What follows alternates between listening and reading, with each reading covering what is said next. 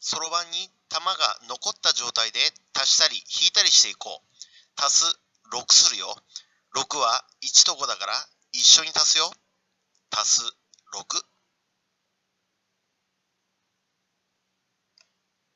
次は引く6するよ。6引くときは1と5。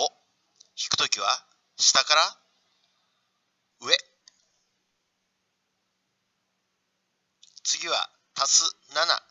2と5一緒に足す7。次は引く7。2と5。引くときは下から上。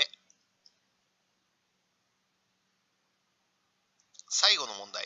8足すよ。足すときは3と5一緒に足す8。答えは9。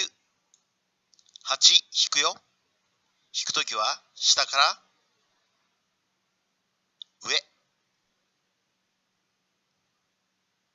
答えは1。